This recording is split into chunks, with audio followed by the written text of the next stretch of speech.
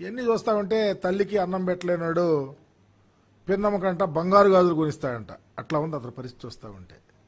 నీకు అధికారం ఇస్తే నువ్వు చేయలేకపోయావు. నువ్వు పట్టుమని ఒక్క సంక్షేమ పథకం నీ పేరు మీద నీ పద్నాలుగు సంవత్సరాలు సిగ్గుండాలి చంద్రబాబు నాయుడికి. ఒక్క సంక్షేమ పథకం నేను పెట్టాను. మహానుభావుడు ఎన్టీ రామారావు గారు అయితే రెండు రూపాయల కిలో బియ్యం పెట్టి ఈ రాష్ట్రంలో పేద ప్రజలను ఆదుకున్నాడు. డాక్టర్ రాజశేఖర రెడ్డి గారు అంటే ఆరోగ్యశ్రీ ఫీజు రియంబర్స్మెంట్ అవి పేటెంట్లు వాళ్ళకి. జగన్మోహన్ రెడ్డి గారికి ఈరోజు కోకొలలు. ఏదైనా ఉన్నాయి. నీకు ఒక్క సంక్షేమ పథకం పెట్టాను ఈ రాష్ట్ర ప్రజల కోసమని చెప్పావా? నువ్వు పెట్టావు. ఏం పెట్టావు? ఈ రాష్ట్రంలో పేద ప్రజల ధనాన్ని నీ వాళ్ళ చేత రాబందుల్లాగా తినిపించావు. జన్మభూమి కమిటీలను పెట్టి. చంద్రబాబు వాగ్దానాలు ఏ మాత్రం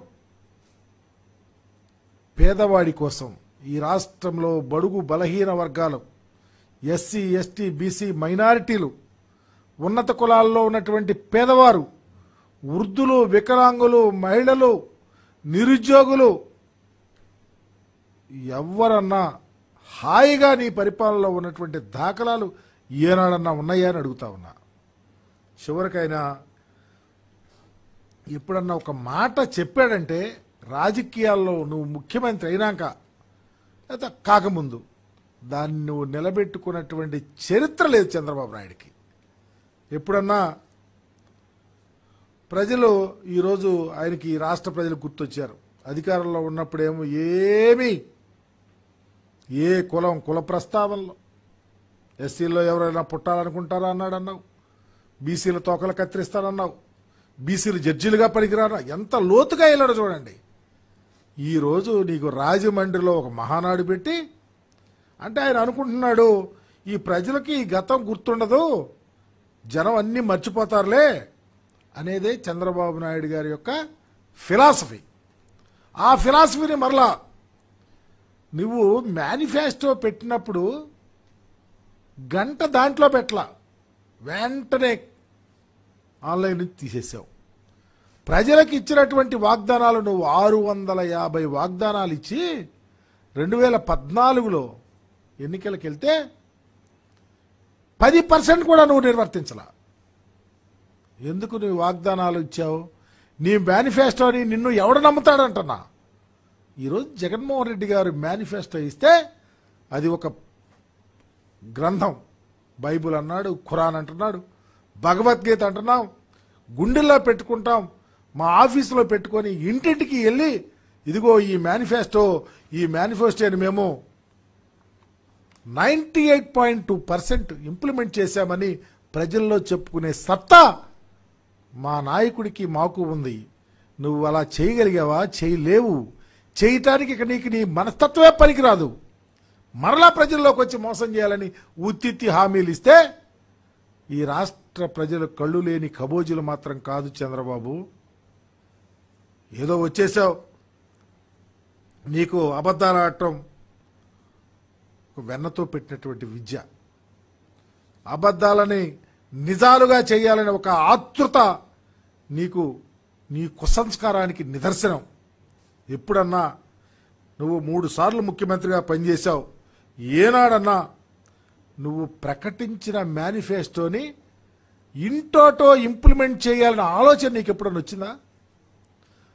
ఇంటోటో అవసరంలా పది పర్సెంట్ చేయాలని ఆలోచన వచ్చిందా? అందల వెక్కదాం. ఎవరు నిన్ను అందలం ఎక్కించారో ఎగిరెగిరి తంతం. నీతో ఉన్నటువంటి దత్తపుత్రుడు కూడా ధన్యావుగా ఇంతకుముందు నువ్వు రెండు వేల పద్నాలుగు అప్పుడు గెలిచినప్పుడు వాడుకున్నావు. అతనికి మరి ఏం తెలియదు తెలుసో? అతనికి ఇంటర్వ్యూ కూడా ఇలాంటి పరిస్థితి నీచంగా చూసినటువంటి పరిస్థితి ఉంది. అదేవిధంగా ప్రజలను చూసావు మరలా ఏదో వచ్చి మహిళా తల్లులను మోసం చేయాలంటావు. లేకపోతే నీ కోసం గాజులు అమ్ముకున్నారు ఇళ్ళలో ఉన్నటువంటి అన్ని పోగొట్టుకొని రోడ్డును పడే పరిస్థితి వస్తే నువ్వు ఎన్నికలప్పుడు మహిళలకు ఇచ్చిన హామీలు చేయలేనటువంటి దుర్భర దారిద్ర్యంలో పరిపాలన చేశావు. ఈరోజు మరలా వచ్చేసి చంద్రబాబు నాయుడు హామీలు ఇవ్వటం అంటే నిజంగా జగన్మోహన్ రెడ్డి గారిని కూడా కంపేర్ చేసుకోవాలా? చంద్రబాబు పరిపాలనలో ఇచ్చిన హామీల విషయంలో ఎంత త్రికరణ శుద్ధిగా ఉండలేకపోయాడో జగన్మోహన్ రెడ్డి గారు ఇచ్చినటువంటి హామీల్లో ఎంత త్రికరణ శుద్ధిగా ఉన్నాడో అదే మా పార్టీకి మా ప్రజలకు మాకు బలం చంద్రబాబు. నీకులాగా ఇష్టం వచ్చిన హామీలు ఇచ్చి నువ్వు ఓ పూర్తిగా తెరలేపేశావు. ఫూర్ టు రిచ్ అంట ఈ కార్యక్రమం. మరి నువ్వు పద్నాలుగేళ్ళు ముఖ్యమంత్రిగా చేసినప్పుడు ఈ పూర్ మనుషులు ఆ రిచ్ మనుషులు యొక్క తేడా నీకు తెలియలేదా?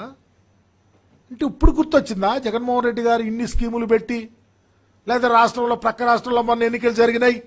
కాంగ్రెస్ పార్టీ నువ్వే డొల్లలాగా వెళ్ళి వాళ్ళతో రాజీ అయి బ్రతికావు జగన్మోహన్ రెడ్డి గారిని కొట్టాలని. అలాంటి కాంగ్రెస్ పార్టీ వాళ్ళు ఇచ్చిన మేనిఫెస్టోలో తెచ్చి తగుదు కదా నమ్మని చెప్పి రాజమండ్రిలో నువ్వు చెలవలు పలవలు చేసి మాట్లాడితే నువ్వు చిలక చూస్తావని చెప్తే ఇక్కడ ప్రజలు కళ్ళు లేని కబోజులుగా చంద్రబాబు తస్మాత్ జాగ్రత్త. ఎందుకంటే రాష్ట్ర ప్రజలను మోసం చేయాలన్న నాయకుడిని వదిలిపెట్టరు. ఒకవేళ మేము తప్పిదాలు చేస్తా ఉన్నా మమ్మల్ని గమనిస్తారు. మేము ఈరోజు రెండు లక్షల ఎనభై వేల కోట్ల రూపాయలు డీబీటీ రూపేనా డబ్బులు ఖర్చు చేస్తే ఎంత విగరస్గా ఉన్నారో ప్రజలు? మీడియా ఎంత విగరస్గా ఉందో నీ తోక పత్రికలు ఎంత విగరస్గా ఉన్నాయో ఒక్క పైసా అవినీతి అని చెప్పగలుగుతావా? చూయించగలుగుతావా? చంద్రబాబుని అడుగుతా ఉన్నాం అదే మాకు శ్రీరామ రక్ష. అదే మా నాయకుడికి ఆశీర్వాదం. ప్రజల మీద నమ్మకంతో పనిచేస్తా ఉన్నాం. నీకు నమ్మకం లేదు కాదు నీకు అధికారం వస్తే కళ్ళు నెత్తికెక్కుతాయని మాత్రం తెలుసు. నువ్వు హామీలు ఇస్తావనే ఒత్తి హామీలు. ఇవి చిత్తు కాగితాలతో సమానమని ప్రజలకు కూడా తెలుసు. ఎందుకంటే నువ్వు ఒక్క హామీని కూడా నెరవేర్చలేనటువంటి ఒక పనికి మాలిన రాజకీయ నాయకుడివి. నీకెవడు ఓటేస్తాడు ఎవడు నమ్ముతాడు అడుగుతా ఉన్నావు. పేదల యొక్క ఇందాక చెప్పా ఫస్ట్లోనే ఇళ్ళ స్థలాలు ఇస్తుంటే నువ్వు ఇవ్వలేక చేతులు ఎత్తేస్తే ఈరోజు ముప్పై ఒక్క లక్షల ఇళ్ళ పట్టాలు ఇస్తా ఉంటే ఆ ఇళ్ళ పట్టాలకు ఇచ్చే పేదవాడికి ఇచ్చే ఇళ్ళ పట్టాలని శ్మశానాలతో పోల్చిన నీచుడు నువ్వు. అంబేద్కర్ గారు ఏం కోరుకున్నాడు సమాజంలో? అప్లిప్మెంట్ కావాలని. ఈ పేదల బ్రతుకులు మిగిలిన కులాలతో సమానంగా బ్రతకాలన్న ఆలోచనతో బాబాసాహెబ్ కోరుకున్నటువంటి పరిపాలన ఈ రాష్ట్రంలో చేస్తూ ఇంగ్లీష్ విద్య తెస్తే నీ కొడుకులు నీ మనవాళ్ళు నీ బంధువులు ఇంగ్లీష్ ఎక్కడో చదవచ్చు.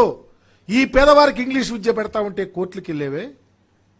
నీ హామీ ఎవడు నమ్ముతాడయ్యా? నీ మనసే దళిత గిరిజన బహుజన మైనారిటీలకు సంబంధించి ఉన్నత కులాల్లో పేదవారికి వ్యతిరేకివని ఒక ముద్ర వేసింది చంద్రబాబు. నువ్వు ఏ హామీ ఇచ్చినా నువ్వు ఏ కార్యక్రమాలు చేసినా మీ మీడియా ఎన్ని మీ మీడియాలో మాట్లాడుతూ ఉన్నాడు ఒక అతను. ఏదంట? స్కీములు ఇస్తే తీసేస్తారంట. ఈ ఇళ్ళ స్థలాలు ఇస్తే అధికారం వస్తే పాపం మీడియా వాళ్ళంటే మాకు వల్ల మాలిన ప్రేమ. ఇలాంటిది ఎందుకు పరికిరాని వాళ్ళు కూడా మీడియాలోకి వస్తూ ఉన్నారంటే బాధపడతా ఉన్నా. ఎంతో గౌరవప్రదంగా చూడాల్సిన మీడియాలో నీకేం పని? సంక్షేమ పథకాలను రద్దు చేస్తావని నీకు చెప్పాల్సిన పని వెంకటకృష్ణకి ఏం పని? వెంకటకృష్ణకి అన్యాయం జరిగినప్పుడు ఒకప్పుడు ప్రమాణం వంటి ఉద్యమం చేస్తే అనేక మంది మిత్రులు మేము సహాయం చేయమని చెప్పినటువంటి